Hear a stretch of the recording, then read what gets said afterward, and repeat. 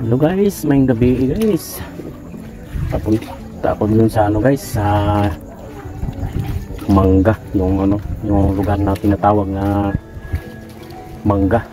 Yun kasi ay medyo ano, pal papasok dun sa ano.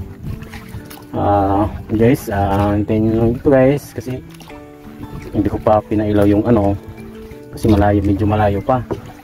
Ito kasi guys ay ano, ngayon guys medyo malaki ang tubig kanina. So meaning na malaki din ang ano medyo malayo yung yung tinatawag na sa Bisaya ay hunas. Eh sa Tagalog yun ko kung ano yun. Eh di ko kabisado sa Tagalog.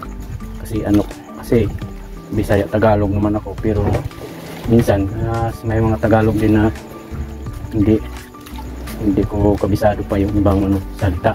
Pasensya na guys. Minsan guys magbibisaya talaga ako guys. Pero pinipilit ko lang na magtagalog para maintindihan sa lahat. Uh, ito guys sana guys uh, wala rin tayo. Uh, may makukuha tayong ano mga tinatawag na supo. Mga pasayan bisaya mga lukon alimango. Sana guys may makukuha tayo dito guys. Medyo malayo pa guys.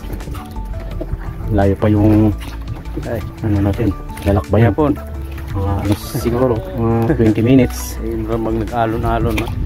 medyo ano malayo pa. Paunas na ako.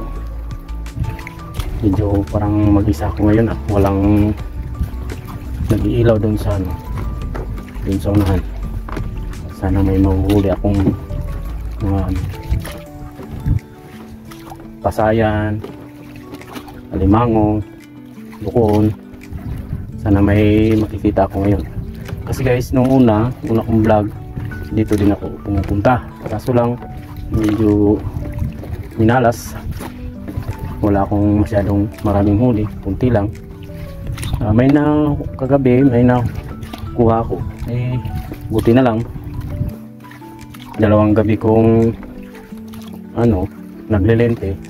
Nakaipon ako ng 6 na kilong ano yung putian na pasayan yun guys medyo ano yun ah, masarap kasi yun na klase.